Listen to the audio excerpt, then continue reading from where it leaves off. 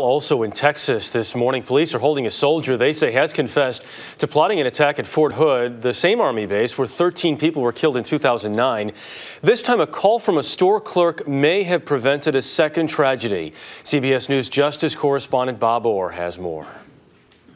Private First Class Nasser Abdo has made no secret of his contempt for the U.S. Army.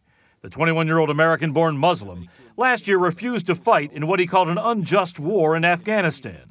I refused to go to Afghanistan uh, because it was against my Islamic conditions. He accused the Army of trumping up charges that he possessed child pornography. And three weeks ago, he went AWOL from Fort Campbell, Kentucky. But on Tuesday, his anger took a more ominous turn when he surfaced at a gun shop in Texas, bought six pounds of gunpowder, and asked a strange question What is smokeless powder? If you don't know what it is, why would you buy six pounds of it?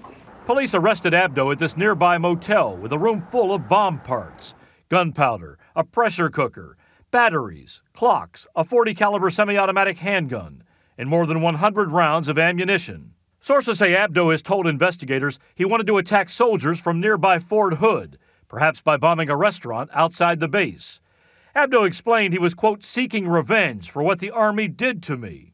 Abdo's alleged plot comes less than two years after a shooting spree at Fort Hood left 13 people dead.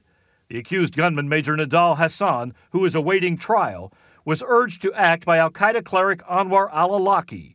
Uh, In Abdo's case, investigators see no signs of a broader plot, but it is a fresh warning that the threat of homegrown terror has not diminished. Bob Orr, CBS News, Washington.